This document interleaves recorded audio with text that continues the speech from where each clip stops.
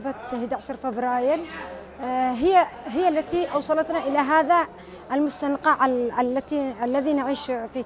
نكبة 11 فبراير هي من دمرت المنجزات دمرت ال- الكهرباء دمرت المياه دمرت كل البنية التحتية. هذا بفعل آه، 11 فبراير التي يسمونها هم آه، بثورة وإنما هي آه، نكبة ونكبات وثورات على ال- ال- الشعب نفسه. وليست آه، بثوراتهم كما يزعمون. آه، ث- نكبة فبراير هي التي دمرت الثورات السابقة. نكبة 11 فبراير هي من عطلت المكاتب ال- الحكومية. ثو- ثورة 11 فبراير هي من آه، قطعت على ال- الناس جميع وسائل ال- الحياة. ال- المعيشية والتكاملية والبنية التحتية وما إلى ذلك. هم آه، نكبة 11 فبراير آه، هم كانوا يزعمون بأننا سوف نعيش في رفاهية ولكن للأسف الآن كل من آه، شارك في نكبة 11 فبراير الآن آه، يلعن نفسه ويلعن ويلعنه التاريخ. آه، بأنه كانوا يعني يساندون هذا ال- آه، 11 فبراير. الآن ضاعت كل الحقوق كل ال- الحريات كل يعني الناس آه، رجعنا بسبب 11 فبراير إلى ما قبل ال- الثورة ال 26 سبتمبر إلى الإمامة. الزمن الجميل. آه ما أحلى الأيام هذا. اليوم تذكر لا حصلنا لا أمن ولا استقرار لا حصلنا الاسعار طلعت فين فين فين فين. بسبب هذه الثورة اللي آه، انكبونا في بسبب هذه الثورة اللي جابوا لنا اسمها 11 فبراير لا لاقينا ال- إلا المالك بعدها. لاقينا الأسعار للعلالي لاقينا آه، الدولار العلالي لاقينا الاستقرار يا أخي عودوا لي حف- حفرة واحدة حفرة واحدة.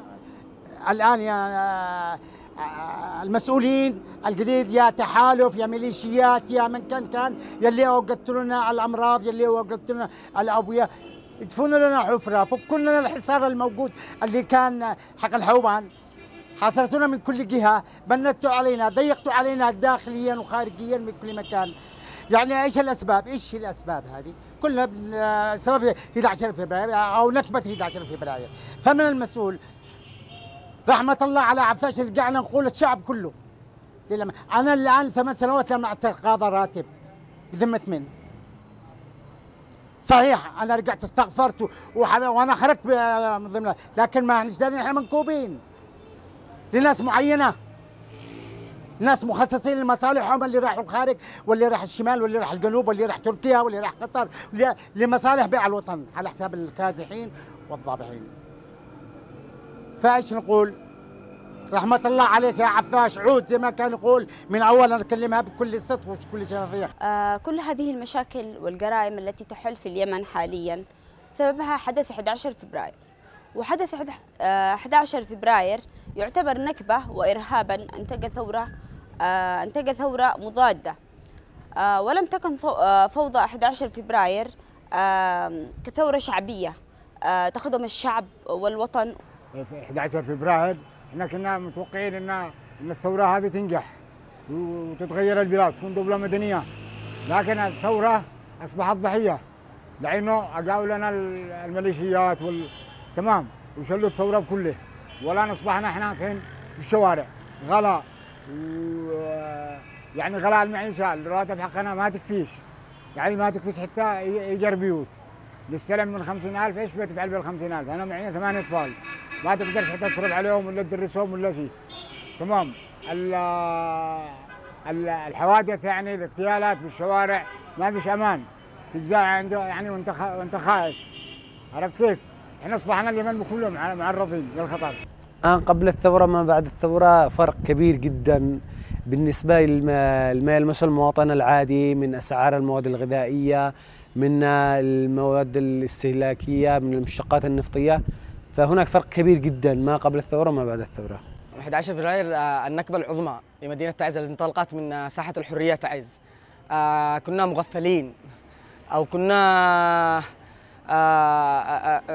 مثل مثل الراعي الذي يهش 11 فبراير نكبة وطن مش نكبة عدة محافظات. 11 فبراير غزو فكري. 11 فبراير عانى المواطن اليمني كثير من بالمجال الاقتصادي الاجتماعي آه، آه، الناس ضابحين الناس ضابحين الناس ضيقانين. آه، أنا كإنسان عنده موهبه وكذا أشتغل بالبوفيه هذه نص نهار. الفاتنة قد أنا يعني مدير شركة الثاني على الدفعة. الفاتنة قد أنا مدير شركة. ليش أشتغل بوفيه ما أنا جاري نكبه 11 فبراير كنا من قبل عايشين. الحادي عشر من فبراير أن يعتذروا للشعب اليمني واليمنيين. كونهم اقترفوا آه، آه، آه، جرم كبير لما وصلنا إليه. نكبة فبراير خلقت بنكبة كبرى ما, ما, ما تسمى بنكبة الواحد والعشرين من سبتمبر ودخول الحوثي إلى دماغ وإلى عمران وصولا إلى صنعاء وصولا إلى آه، تعز